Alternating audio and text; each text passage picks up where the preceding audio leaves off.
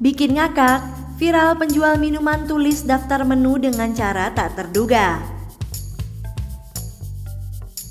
Saat berjualan makanan, seseorang harus memiliki hal untuk atau nilai jual yang menarik. Hal tersebut dilakukan agar bisa diingat pelanggan di tengah menjamurnya usaha kuliner. Beragam cara pun dilakukan agar bisa menarik pelanggan.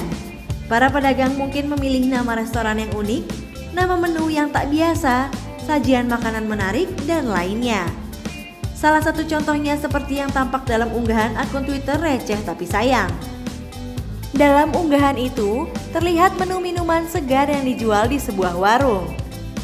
Menariknya, cara penulisan minuman itu cukup tak biasa. Pasalnya, ia mengganti huruf P menjadi F sehingga cara bacanya pun menjadi terdengar unik. Ada tiga menu yang dijual di sana, yakni sop buah, es campur, dan es kelapa. Namun, ia menuliskan menu-menu tersebut menjadi sop buah, es campur, dan es kalava. Pedagang es buah di Condet Be Like tulis pengunggah foto tersebut dalam cuitannya. Harga sajian minuman tersebut pun relatif cukup murah, satu porsi sop buah dibanderol dengan harga Rp7.000, es campur Rp5.000, dan es kelapa Rp2.000. Cara penulisan menu yang unik ini pun bisa jadi sangat berkesan di benak pelanggan. Pasalnya, cukup jarang warung yang menuliskan menunya seperti itu.